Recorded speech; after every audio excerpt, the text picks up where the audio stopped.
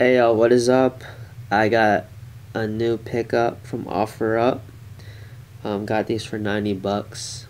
Um, pre-owned with laces and a replacement box.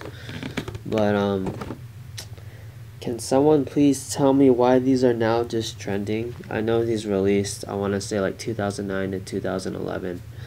And I remember seeing them at the exchange just sitting on racks. So like why are these just now like I'm just seeing them now trending on Instagram.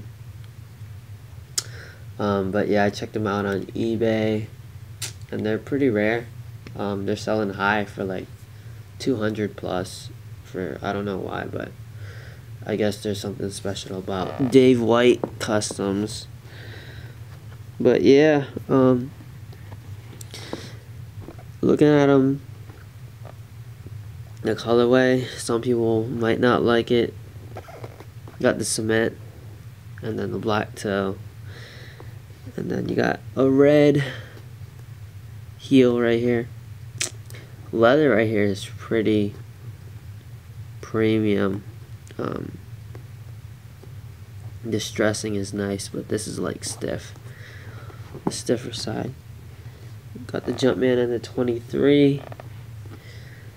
Um, but yeah, this leather right here is nice quality. But yeah, you got gray on the inside, gray lining. Bottom's still good, stars. And then you got um, wings for the future on the laces right there. But yeah, y'all, clean shoe. I just want to know why these are trending. Um, but yeah, got them cheap. Just sold them too. So just let me know, y'all. God bless.